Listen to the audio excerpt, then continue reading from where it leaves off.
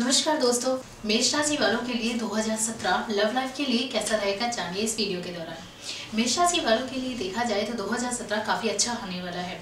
जितनी भी उतार चढ़ाव उन्होंने 2016 में सही है या फिर 2016 में जितनी भी परेशानियाँ हुई हैं तो वह लव लाइफ को लेकर 2017 में काफ़ी खुशी महसूस करने वाले हैं, क्योंकि उनकी ज़िंदगी में कोई ना कोई आने वाला है। या फिर उनकी ज़िंदगी में आने वाला उन्हें और भी ज़्यादा खुश करने वाला है।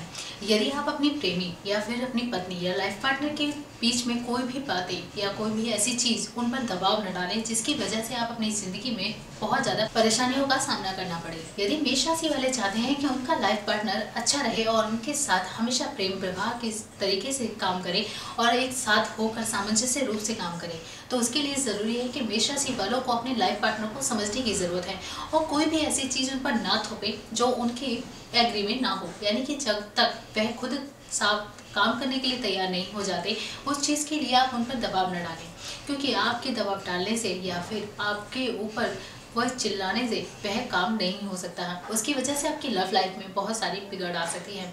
यदि आप शादीशुदा नहीं हैं या फिर शादी की सोच रहे हैं तो 2017 में आपके लाइफ पार्टनर के लिए बहुत अच्छा दिन माना जा रहा है। यदि आप मई के और अगस्त के मध्य में कोई रिश्ता आता है तो आप उसके लिए तैयार हो जाइए। और आप उसे देखने जाएँगे तो आपका रिश्ता जल्दी ही पक्का हो जाएगा। तो 2017 कुल मिलाकर मेष राशि वालों के लिए बहुत अच्छा है लव लाइफ को लेकर। अपनी ज़िंदगी को थोड़ा स्थिर रखें, जिससे कि आपको कोई परेशानी ना हो। साथ के साथ अपनी चीज़ों को व्यवस्थित रखें, जिससे कि आप अपने कार्य को ठीक से कर सकें। तो ये है मेष राशि वालों के लिए 2017 में लव लाइफ कैसी रहेगी। मेरी इस वीडियो को लाइक शेयर एंड सब्सक्राइब करना ना भूलें।